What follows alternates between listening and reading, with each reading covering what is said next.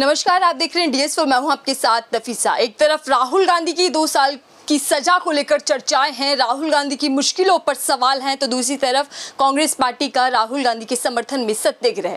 सत्याग्रह राहुल गांधी की सदस्यता चली गई दो साल की सजा बरकरार बरकरार रही। ऐसे में बातचीत करते हैं हम। सुरेंद्र चौहान जी हमारे साथ हैं। सुप्रीम कोर्ट के जाने माने अधिवक्ता हैं।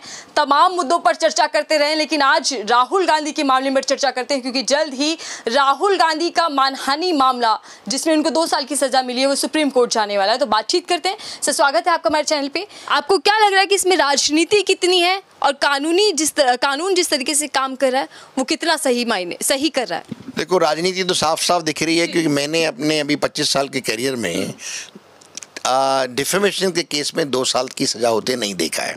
तो ये अनूठा केस किया है और जज साहब ने पता नहीं अपने क्या विवेक का निर्णय लिया है अपने विजडम से या क्या क्या एविडेंस आए हैं उनके सामने चार्जशीट में और जो उन्होंने सारा जो चार्जशीट कहते हैं जो कंप्लेंट केस था ये कंप्लेंट केस में क्या क्या उन्होंने विटनेस एग्जामिन किया है।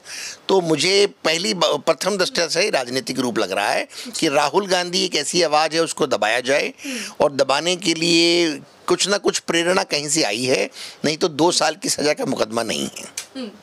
लेकिन सर कानून सजा सुना रहा है दो साल की इसमें दिक्कत क्या? इसमें आपत्ति क्यों? हमें आपत्ति नहीं है किसी को भी आपत्ति नहीं है। आपत्ति होता है कि न्याय दिखे हो रहा है। जी। न्याय होता है ना न्याय दिखना भी चाहिए कि न्याय हो रहा है। अगर किसी आदमी को हमने किसी की हत्या हुई है और उसको फांसी लगा दी जाए तो पता लगता है कि भाई हत्या किसी ने की है तो उसको फांसी मिल गई है।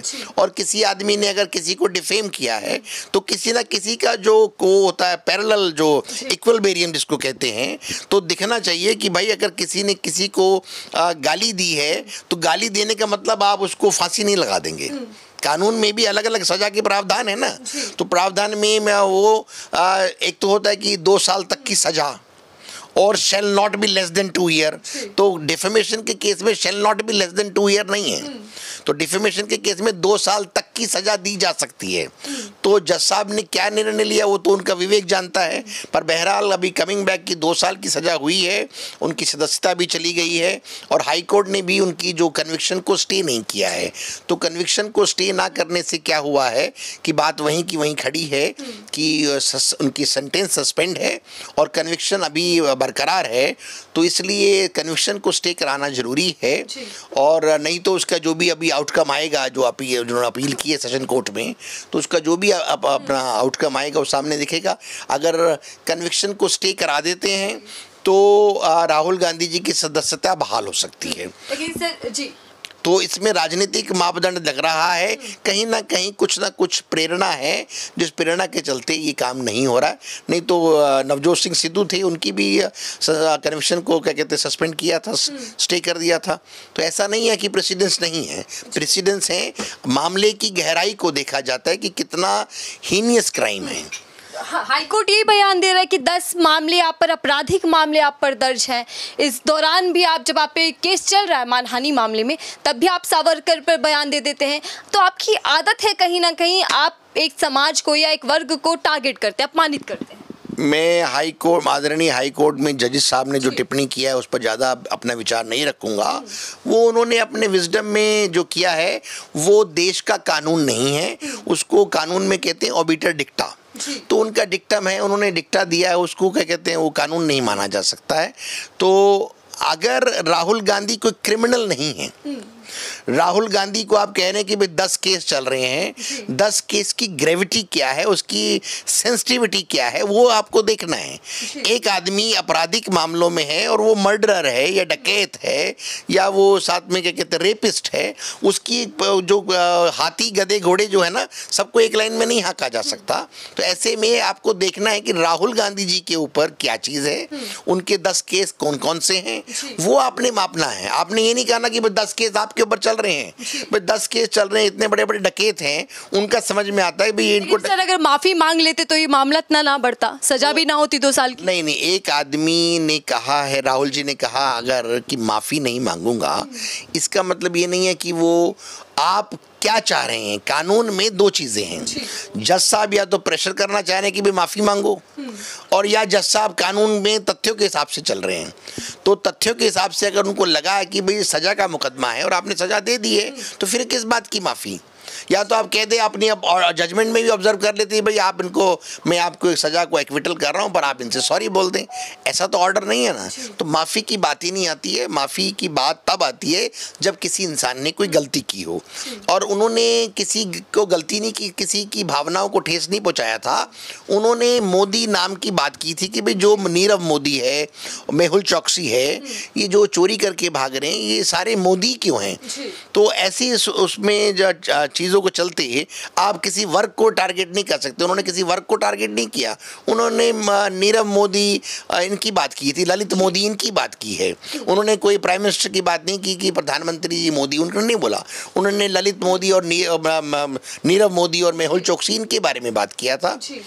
तो ऐसे में उन्होंने किसी की भावनाओं को ठेस नहीं पहुंचाई कि किसी वर्ग को या मोदी कम्युनिटी को ऑन द होल उन्होंने चोर कहा हो। ऐसा नहीं है। हम्म। सर मैं आपसे समझना चाहूँगी कि कानून मानहानि मामले में क्या कहता है? क्या कानून इसी तरीके से काम करता है आमतौर पर जो हम राहुल गांधी वाले मामले में देख रहे हैं? क्या इसी तरीके से दो साल की सज़ा सुनाई जाती है? नहीं वे पहली बार मैंने आपको पहले बताया ना, पहली बार मैंने देखा है, मैंने इतनी जजमेंट भी पढ़ी कि दो साल की कभी सज़ा नहीं। अगर हुआ है तो भाई till rising of the court कर दिया, कोई फाइन लगा दिया, या आपस में समझौता हो गया, माफ़ी मांग ली कि भाई जैसे आपने देखा केजरीवाल ने कितनी बार माफ़ी मांगी डेफेमेशन डिफेमेशन के केस में तो क्या अरुण जेटली जी ने भी उनके ऊपर किया था, कपिल सिब्बल ने भी किया था। तो मुकदमे चलते रहते हैं, उनमें आपस में समझौते हो जाते हैं। पर राहुल जी के मामले में, राहुल जी के मामले में ऐसा कुछ नहीं था। कंप्लेनेंट जो है, इस केस में बड़ी इंटरेस्टिंग बात हमने सामने आई कि कंप्लेनेंट खुद अपना हाई कोर्ट में मामला स्टे करा रहा है कि इसको रोक दिया जाए। इसका मतलब ये मोटिवेटेड चीज़ है। कंप्लेनेंट कभी भी अपने केसेस को स्टे नहीं कराते हैं। कंप्लेनेंट का केस होगा भी रोक दिया जाए या डिसमिस कर दिया जाए विड्रॉ कर रहा हूँ। कि जी मैं अभी प्रोसिक्यूट नहीं करूँगा मैं छः महीने बाद करूँगा। ये पता नहीं कौन से कानून की प्रक्रिया में उस समय हाई कोर्ट में उसकी दरख्वास्त को टेकअप किया गया। मुझे इसका इलम नहीं है मैं उसकी जानकारी अपनी एकेडमिक बढ़ाना चाहूँगा और मैं उस केस को देखूँगा कि ऐसा क्यों हुआ। कंप्लेनेंट ने तो इसका मतलब सब चीज़ें मोटिवेटेड हैं और कहीं ना कहीं ये राजनीति से प्रेरित है और ये टारगेट की गई है राहुल गांधी जी को आवाज़ को दबाने के जिस तरीके से कांग्रेस पार्टी भी ये आरोप लगा रही है इस पॉइंट को उठा रही है कि ये सब कुछ राजनीति से प्रेरित है। तो क्या बदले की भावना इसके भीतर है? क्या राहुल गांधी जिस तरीके से एक बार एक बार केंद्र सरकार पे कर रहे हैं तो क्या वो पूरी राजनीति इसमें छुपी हुई है? देखो राजनीति है कि जो सरकार है भारत सरकार उसे अच्छी तरह पता है कि उनको इस देश में कोई टक्कर दे रहा है और कोई निर्भीक रूप से बात कर रहा है तो एक ही शख्स है जिसका नाम है राहुल गांधी। जो डरा भी नहीं कि 4000 किलोमीटर पैदल चल के उसने कन्याकुमारी से कश्मीर तक बता दिया कि मैं इस देश की आवाम के लिए लड़ता रहूँगा और उनकी आवाज़ को उठाता रहूँगा। और उन्होंने इसीलिए लोकसभा में भी आवाज़ उठाई कि भाई आपका रिश्ता क्या है बीस हज़ार करोड़ का? भाई अगर प्रधानमंत्री मोदी जी अगर इतने आश्वस्त हैं कि उन्होंने कुछ गलत नहीं किया हुआ तो लोकसभा में सभी संसद सदस्यों को क्या कहते हैं, अधिकार है कि वो जानकारी प्राप्त कर सके सरकार से कि भाई ये बीस हज़ार करोड़ रुपया या कोई भी पैसा कहाँ गया है? और आप कोई जवाब ही नहीं देते आप एक प्रेस कॉन्फ्रेंस भी नहीं देते हैं। तो कुछ ना कुछ कहीं ना कहीं गलत है और वो देख रहे हैं सरकार चाहती है कि भाई ये आदमी ज़्यादा बोल रहा है तो इसकी आवाज़ को बंद किया जाए।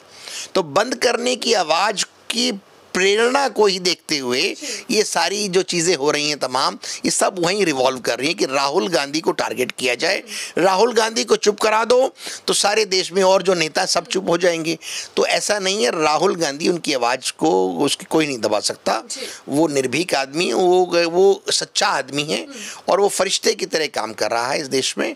और मुझे नहीं लगता कि भारत सरकार और भारतीय जनता पार्टी की इतनी ताकत है कि राहुल गांधी की आवाज़ को बंद कर सकें लेकिन सर, अहंकारी है राहुल गांधी। माफ़ी मांग लेनी चाहिए। अब बेचारा पॉलिटिक्स करेगी कांग्रेस। इस तरीके के बयान जब बीजेपी दे रही है, तब आपके मन में क्या चल रहा है? लॉयर के तौर पर बोल रहे हो या फिर नागरिक के तौर पर पूछ लूँ नागरिक के तौर पे मैं कहना चाहूँगा लॉयर के रूप में तो इसमें कुछ है नहीं कि कहना बेचारा कहना और उनको क्या कहते हैं जो ये बीजेपी वाले जो अटकलें लगाते रहते हैं ना ये इनको लाइमलाइट में बने रहने की आदत है। इसलिए वो कुछ भी कुछ शकुफ्ता छोड़ देते हैं। जैसे उन्होंने चुनावी वादे होते जुमला छोड़ देते हैं। तो राहुल जी के लिए वो यही बात करना चाह रहे हैं कि कोई ना कोई शकुफ्ता छोड़ दो।